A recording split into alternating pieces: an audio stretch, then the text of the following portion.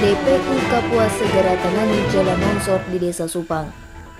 Untuk mengantisipasi agar ruas jalan Sehanyo Desa Supang, Kecamatan Kapuas Hulu tidak sampai terputus, akibat terjadinya longsor yang telah memakan separuh jalan.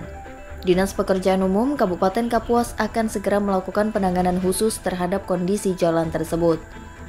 Kepala Dinas Pekerjaan Umum dan Penataan Ruang Kabupaten Kapuas, Teras ST mengatakan, pekerjaan-pekerjaan ruas jalan yang longsor harus ditangani khusus karena posisinya berada di kawasan bertebing dan pihaknya sudah melakukan survei ke daerah tersebut.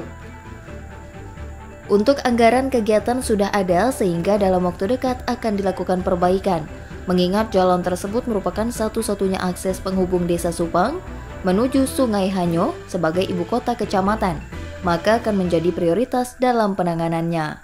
Untuk ada longsor di ruas jalan Supang Sungai Hanyu itu ada tergerus karena curah hujan cukup tinggi.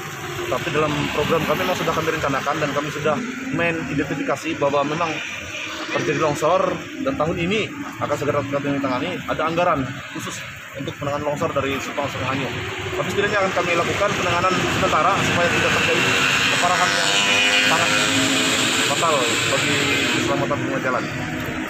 Saat ini, guna mengantisipasi terjadinya kecelakaan, pihak Polsek Kapuas Hulu dan Koramil setempat memasang rambu-rambu dengan tujuan agar masyarakat berhati-hati saat melintas jalan tersebut, sehingga tidak sampai menjadi korban. Dari Kuala Kapuas, Julian Syah, Tabengan TV.